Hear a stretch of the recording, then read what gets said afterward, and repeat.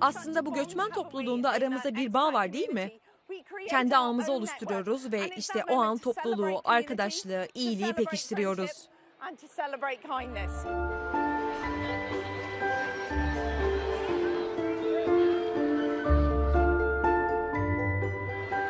Kış pazarlarından ağaç ışıklandırmalarına, Noel Dubai'de tam bir şenlik. Zabel House bir mahalle oteli ve mahallemizin özelliklerinden biri de pek çok farklı ülkeden gelen farklı insanlardan oluşması. Ve özellikle Noel gibi dönemlerde ailelerinden uzak olan çok sayıda insanı otelimizde kutlama yapmak üzere bir araya getirecek bir etkinlik düzenlemek bizim için gerçekten önemli. Noel ağacı süslemek gibi etkinlikler misafirlerimizin, ziyaretçilerimizin ve komşularımızın evlerinde hissetmesine yardımcı oluyor. Dünya Kupası taraftar alanları hediyelik eşya ve kışın iç ısıtan yiyecek içecekler satan tezgahların kurulmasıyla büyüleyici bir görünüme kavuştu. Dubai'nin opera ve tiyatro binaları pandomim ve fındık kıran balesi gibi gösterilerle dolup taşıyor. Burada provalarda görülen Elf müzikali de Londra'nın batı ucundan oyuncu kadrosuyla bu tatil sezonunda Dubai'ye geliyor. Bir filmden uyarlanan müzikal, Olivia ödüllü yapımcı Paul Tyler Mills tarafından sahneye taşındı. Bir müzikali Dubai'ye getirmek için büyük bir hazırlık gerekiyor. Art for All ile mümkün olan en iyi gösteriyi sunabilmek için aylarca çalıştık. Bu da set tasarımının gösterilmesi, kostüm tasarımlarının gönderilmesi anlamına geliyor ki bunların hepsi burada yerel olarak hazırlanıyor. Ama aynı zamanda evde de tam bir İngiliz kumpanyası getirdik ve haftalarca Londra'da prova yaptık ve burada olmaktan çok mutluyuz. Londra'da kar yağıyordu. Dubai'de bu yok ancak Elf müzikalinde kar bekleyebilirsiniz. Elf müzikali film sevenlere hitap ediyor ama bir filmi sahneye taşıdığınızda kuşkusuz bazı farklılıklar oluyor.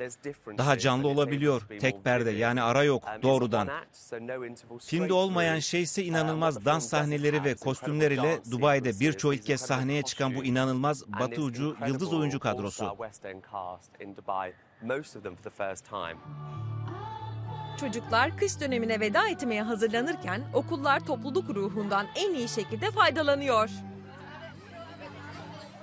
Şenliklerle dolu bir hafta geçirdik. Okul öncesi sınıfların hazırladığı kardan adam ve kırmızı burunlu rengi Rudolf yapımları vardı. Noel yemekleri, yeni yıl yemekleri, tüm okulun oturduğu ve isterlerse gerçek bir hindi yemeğinin tadını çıkarabilecekleri öğle yemeklerimiz oldu. Etrafımızı Noel için süsledik. Ama aynı zamanda burasının kış harikalar diyarı olduğunu söylemeye de özen gösteriyoruz. Tamamen kapsayıcı.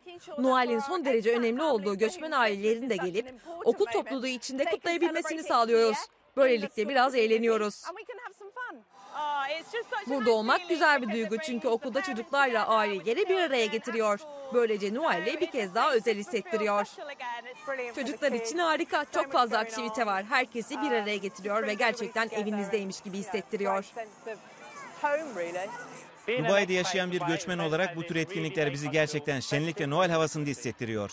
Ve hiçbir aile şenliği Noel Baba'nın ziyareti olmadan tamamlanmış sayılmaz. Ki Dubai'deki kış harikalar diyarındayız.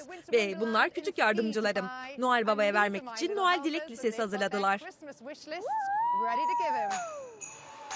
Burası Dubai'nin Noel sezonunun en önemli parçası ve çölde beyaz bir Noel geçirmek isteyen herkes için olmazsa olmaz bir yer.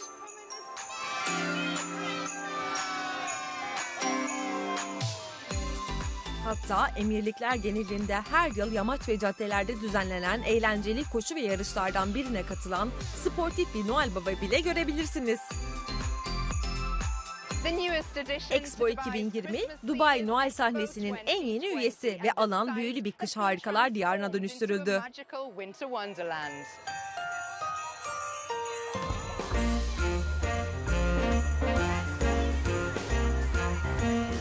Winter City baştan sona atraksiyonlar, aktiviteler ve Noel büyüsüyle dolu. Pazarı keşfedin. Donmuş gölde paten yapın ve sakallı adamın kendisini hatta Bayan Claus'u görmeye gitmeden önce Noel Baba'ya bir mektup yazın. Expo Noel pazarı muhteşem. Lüks etkinlikler, topluluklar ve bolca Noel Baba. Bu kent Noel'i nasıl kutlayacağını kesinlikle iyi biliyor. Hem de Dubai farkıyla.